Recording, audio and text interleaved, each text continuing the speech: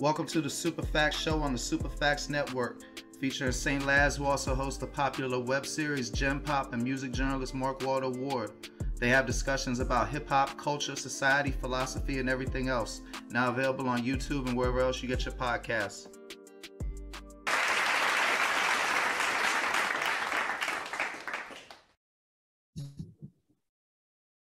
What up, world? It's your boy Mark Waldo Ward, Super Facts Show, Super Facts Network. Today we got the legend himself, Mic Geronimo, Master IC, in here for a Throwback Thursday episode. How you doing, brother?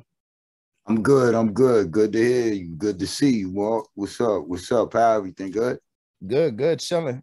So, yeah, you know, like I said, I'm, I'm, gonna make this one fast. You know, th- I, I, collect vinyl. This is one of my favorite pieces. Yeah. And and, and this this just represents a time because you got production by one of Bad Boys Hitmen on the Nothing Move But the Money. Yeah.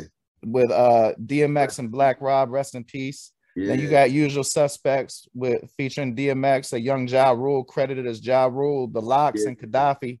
And before yeah. even getting to anything, bro, I, I, I thought I thought wasn't Fatal on that song.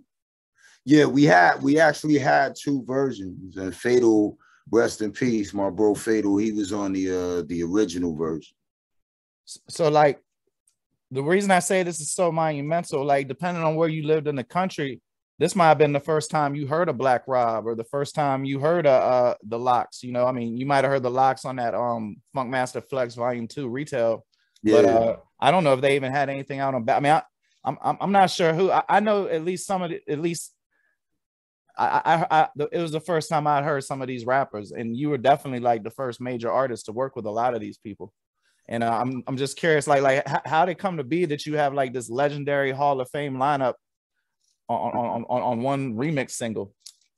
Um, I mean, it, it was two things. Like, uh, shout out to Irv Gotti because he pretty much, you know, put together who he felt, you know, needed to be heard on the song. You know, and, and we had kicked a lot of names around and the, the good part about it was pretty much everybody that we initially thought of, they was like, it wasn't just the sake of working with artists. It was, you know, getting to work with your friends that just so happen to be artists, you know. So for us, everything we did on it, it was it was personal, and everybody that worked on it with us, it was a vibe, and they was like family, you know, they were like kin. So it was just the usual. That's actually how the name had came about. It was just the usual suspects, the people that we always deal with.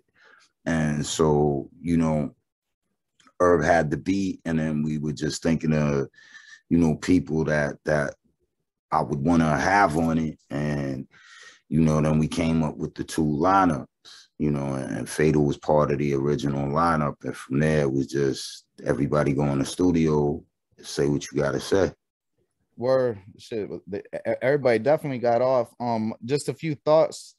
Do you think uh Tragedy Khadafi gets his deserved credit? Like, I mean, I was rocking with him with the intelligent hoodlum and everything, mm-hmm. but you know, mm-hmm. and I remember uh LA, LA and all that, but like I, I, I don't know. I just don't feel like he get he get like much like yourself. Don't don't get mentioned nowhere near in relation to the impact you had on the culture at the time. You know.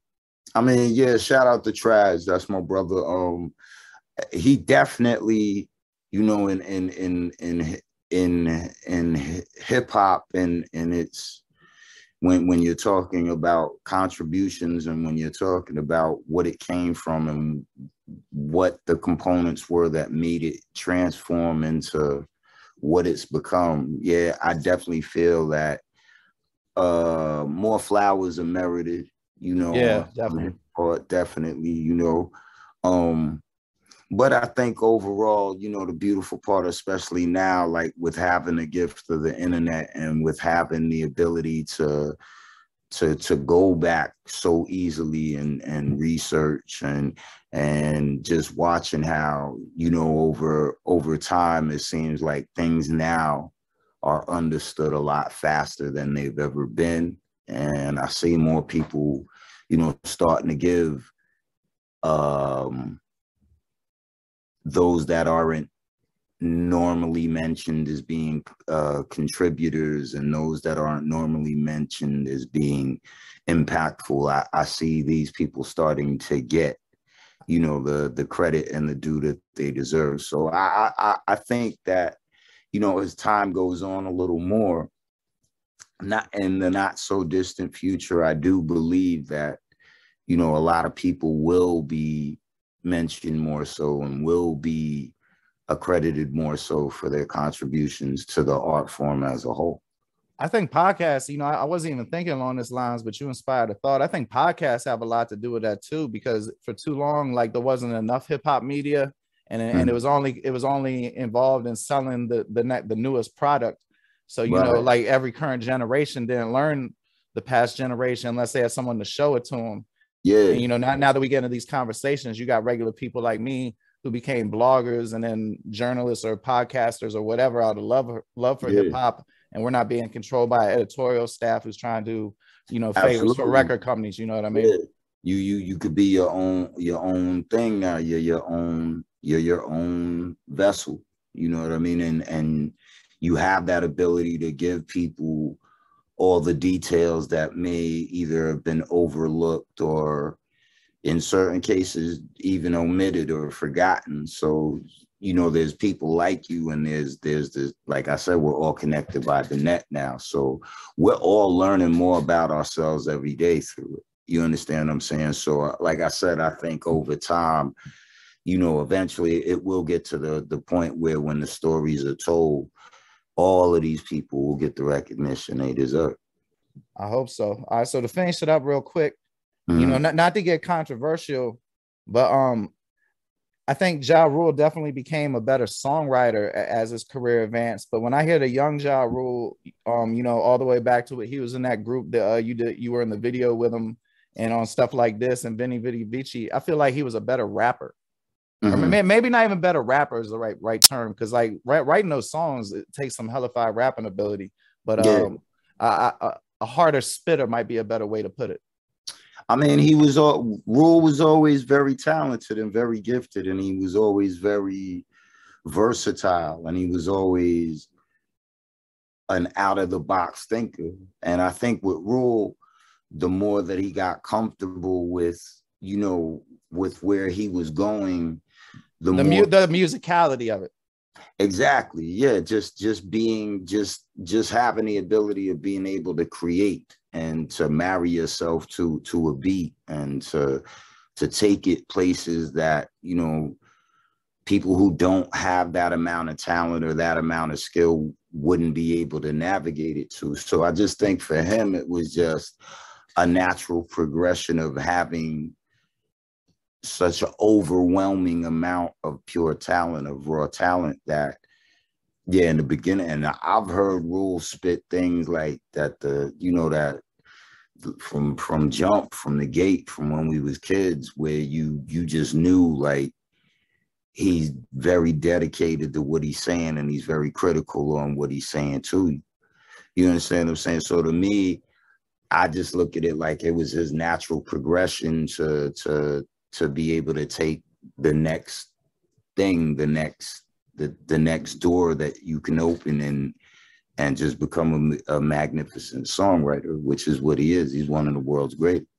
I agree, and I think I had a young mind. Um, you know, I just wanted to hear a certain kind of thing because I noticed when I watched that verses, I appreciated a lot of those mm-hmm. songs. I dismissed a lot more. You know. Yeah, yeah, yeah. You know, and like I said, it's time, bro. Things grow over time. People understand things more so over time, and also time gives you the ability to to look at things and to be able to give them that appreciation because they have i mean that man's catalog stood for years you know whether people still, still standing.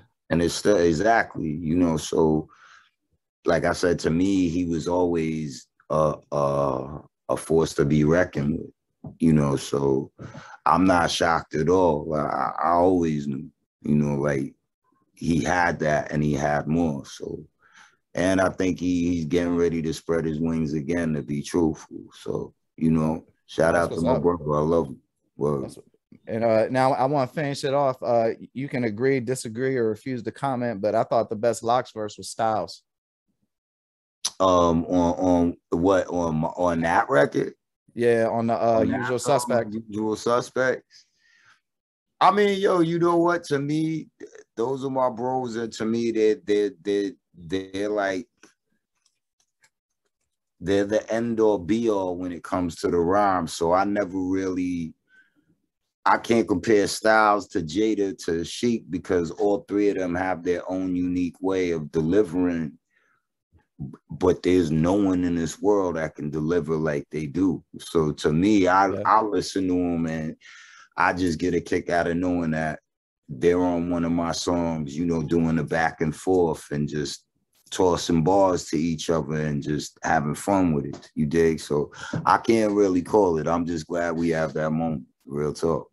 All right, and then I, I don't even want no response, but you had the best verse on the song. Um, all right, so so, so that that's a throwback wow. Thursday. The the Mic, Mic Geronimo, none move but the money remix, usual suspects. Yeah. Uh, 12 inch single uh, available on all digital streaming platforms. Thank you yeah. for your time, brother. Thank you. I appreciate it, bro. No doubt.